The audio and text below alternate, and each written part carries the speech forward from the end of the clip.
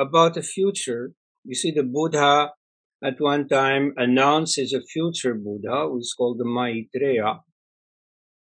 And, you know, for, for many practicing Buddhists of the devotional type in later generations, this will become decentered. You see, they are living in expectation of the Maitreya. Once in a while in Buddhist societies, somebody gets up to say, I am the Maitreya. Just like in Christianity, there's every century or so somebody says, Oh, I am the returned Christ. Well, here you have the Maitreya.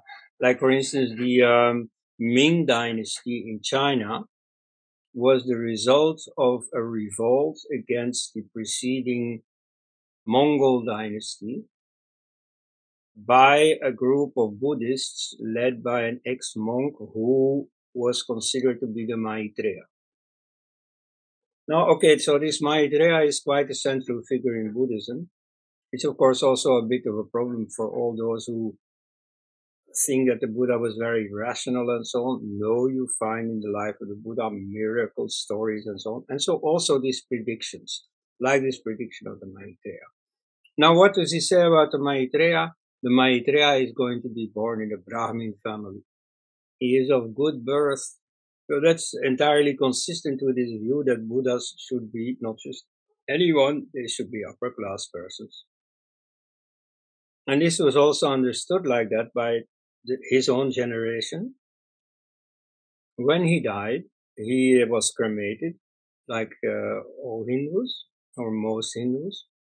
And um, then there were eight different cities that laid claim on his ashes.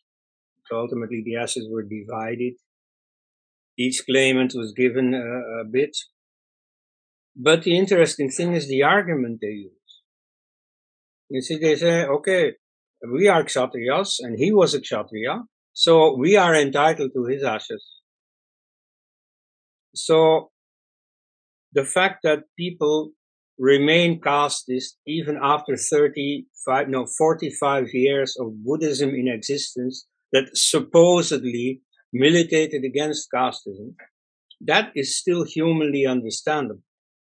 You know, there you can say, oh, the master was very big, he understood, but his pupils didn't understand. That, that typical formula could be applied here.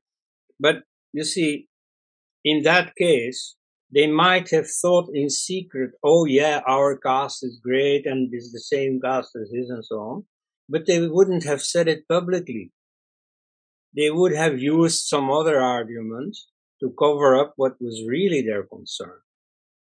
And yet, you see, after all these years of Buddhism, in full view, very explicitly, in a Buddhist context par excellence, namely the, the possession of the ashes of the Buddha himself, they say publicly, oh, it's because we are Kshatriyas. It's because of our caste.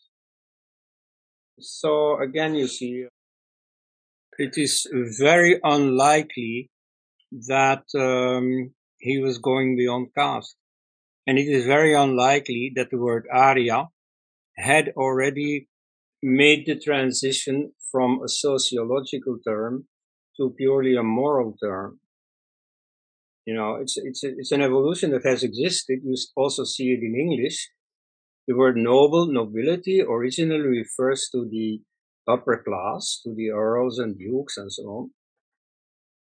And later it got the more general characterial meaning, psychological meaning of magnanimous, dutiful, and so on. So that evolution took place in Sanskrit as well.